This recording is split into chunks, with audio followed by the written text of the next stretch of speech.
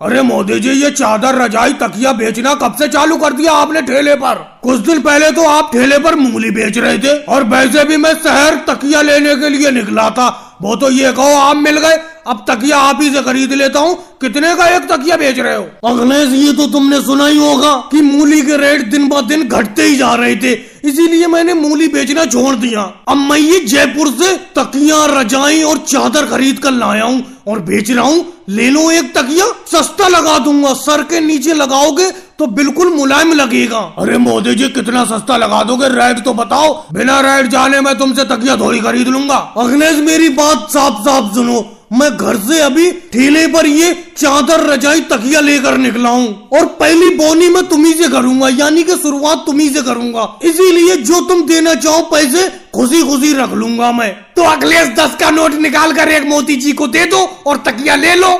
राहुल, तुमसे मैंने बीच में बोलने को कहा।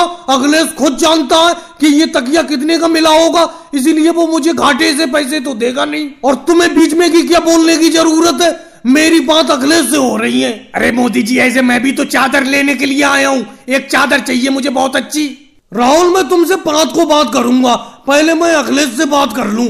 अखिलेश ले रहे हो ये तकिया? बोल नहीं रहे हो तुम, क्या मात है? चलो मोदी जी, पचास रुपए दे देता हूँ तकिए के।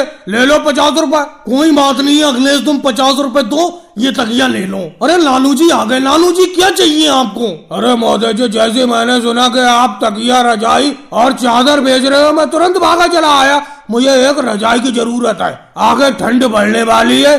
एक रजाई मोटी सी दे दो जिससे ठंड ना लगे ओढ़ते हुए। रजाई ओढ़ कर सो जाया करूँगा। अभी देता हूँ लालू जी मैं तुम्हें रजाई। ऐसी रजाई दूँगा कि तुम्हें सोते हुए सर्दी में भी गर्मी लगेगी और पसीना निकलेगा जिस्म से। मोदी जी ये कोई बात हुई? ये बात मेरे समझ में नहीं आई। अखिलेश के बाद तुम डायरेक्ट लालू जी से बात करने लगे जबकि लालू जी बाद में आए। आपको पहले मुझे चादर देना चाहिए थी ये बात मुझे समझ में नहीं आई मैं जा रहा हूँ। और भाई लोगों को वीडियो को लाइक करो चैनल को सब्सक्राइब करो।